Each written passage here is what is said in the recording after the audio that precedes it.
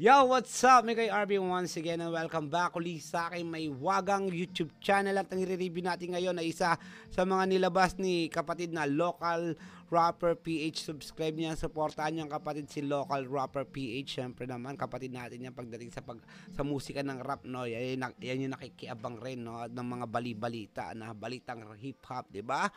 Luxuria, napikon at nagbanta sa grupo nila Coley, di ba? Naman at dam sa tutulungan makilala ang freestyler na sinapak. Oh, grabe to, mainit ngayon to ah. Mainit-init to. Siyempre kapatid, bago nga pala natin 'to review, i-review siyempre kung ikaw ay napadaan lang dito sa YouTube channel, meron kang makikita dyan na like, share, and subscribe button. Pa-click na lang yung kapatid sa tabi niya. May notification bell. Kale-kalembagin mo para naman updated ka sa mga ilalabas ko pang mga video bago natin simulan. Siyempre, isa mo ng umatikabong pasakalye. RP Productions. Bibigyan kita ng pasakalyang simple lang. Yung tipong pag narinig mo to ay mahihibang. Bawat labas ko ng awitin ay nakaabang. Kasi alam nyo na brutal din ako maglibang. Iba ito sa kata mo? Kaya sige pikit. May metapora do kuno pero yung bars pilit. Aanin pa ba yung lalim kung hindi sisig? Halata na kata mo sa sulat tinipid luxuria na pikon at nagbanta na Coley dahil dinadamay ito sa mga trip nila. Da- Mhm. si Luxurian ang nag-iisang battle. Siya na lang ang battle ano, battle ano, battle MC na babae na lumalaban. So, PMC no, na battle PMC na na lumalaban ngayon sa iba't ibang digmaan no o rap battle no ewan ko kung lumaban na siya natapat na siya sa PSP pero sa sunugan nakita ko na to sa flip top di ba galing nito magaling rin to si Luxuria eh, no sa tutulungan makilala ang freestyler na ulitin natin sinadamay ito sa mga trip nila. Damsa tutulungan makilala ang freestyler na sinapak. Matapos nga ang insidenteng kinasangkutan ni Damsa na kung saan ay sinapak niya ang kanyang naka-freestylan ay tila naging maingay ang pangalan niya sa Ba't kaya ano? Actually hindi ko pa napanood to eh. No? Wala pa kasi akong time ano, yun, hindi ko pa nakalungkat to. Yung sinapak ni Damsa yung kapre-stylean niya. Eh puti, eh alam ko big boxingero to si Damsa eh.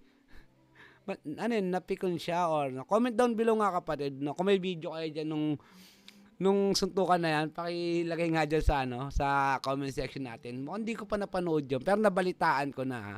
Na kung saan ay sinapak niya ang kanyang naka-freestylan ay tila naging maingay ang pangalan niya sa social media. Nagkaroon pa nga ito ng laban kontra kay Lipram sa darating na January 21 sa PS Ah, Lipgram versus Damsa. Maganda yan ha. Jonas versus Righteous One. Romano, Unico.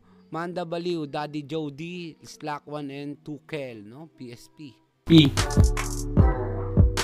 Sa naging interview nga ni Damsa ay nilinaw niya na tila nagkaayos na sila ng taong nasaktan niya. Dagdag pa nito ay tutulungan daw niya ito makilala dahil mataas daw ang pangarap nito. Oh, so babawi naman pala si Damsa, no? Ah, siguro hindi lang, may, may mga ganun talagang time na hindi lang nakontrol ni Damsa.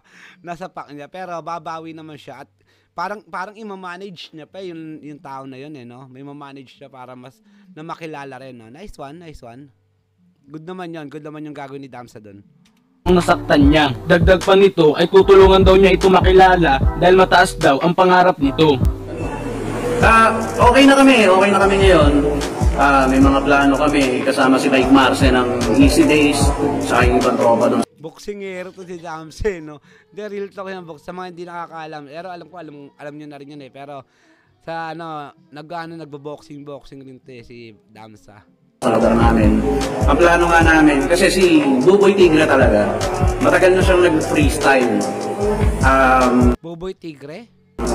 since parang 2015 or 16. So, basta matagal na siya nag-freestyle. So ako, ang nakikita ko, parang ang pinaka magandang magagawa ko na lang para sa kanya, since hinahanap na siya ng tao, bibigyan ko siya ng break. Hindi hindi ito pang palubag-loob ah. Bibigyan ko siya ng break kasi nakita ko may pangarap talaga siya. Oh, tsaka ano. Pero may ikaw ba naman sa pangalan ni Damsa hindi ka makilala? Hanapin ka talaga ng tao. And at the same time, siguro nakita rin ng potential talaga to ni Damsa para i- ano, i, ano tulungan, no? Di ba? Tama nga naman yung ginawa doon ni Damsa. Ilalaban namin siya kay Oji Woon. Nag-usap na kami ni Si OG1 na makakalaban ha. Gar. Abangan ko yan, abangan ko yan ha. Saan kaya magaganap yan? Poli, yan. Ah, inayos na namin. So, abangan nyo. Lalabas si Buboy Tigre. Buboy, Ti- Buboy Tigre versus OG1. Mga Lodi, naghahanap ba wala tayong kinalaman dito. Siyempre, usog natin uli. XBet. Oh. Usog natin. Ay, wala, hindi tayo kasali dyan eh. Sana all kasali dyan, no? yan, yan, yan, yan. Dyan na lang, para ano. Sa ibang balita naman mga Lodi, Luxuria napikon at nagbanta kina Collie. Hmm. Luxuria, nagbanta. Maingay nga ngayon ang grupo ni Collie at Lipcram na kung saan ay tila nag-aaway sila sa social media. Sa mga ginagawa nga nila ay merong natu Ito, ito napanood ko ito yung sinapak naman ni Lipcram. Si... Pangalan ito, nakakalimutan ko na. Sobrang busy ko lang nakakalimutan. tuwa, Mer- Si Lyric... Ano ba? meron din namang hindi. Wait lang ah. Kaya, pasensya na. Pero kung...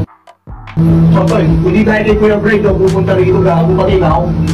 Ano na yan? Ano na yan? Si Critico pala. Ang mga ko yung mga ano bro. Kaya yun, di tayo taga rito parehas ha. Pwede parehas ha.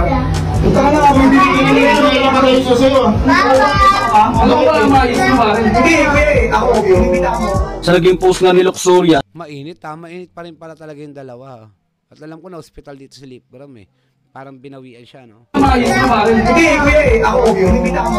sa naging post nga ni Luxuria sa kanyang Facebook account ay tila nagbabanta ito sa grupo ni Collie. Base nga sa post ay tila dinadamay si Luxuria kaya naman tila napikon ito. Damsa, Collie, wag niyo akong dinadamay sa mga kasitan nyo. Nananahimik ako dito pero kung trip niyo talaga ako, takits na lang after laban ni Lip.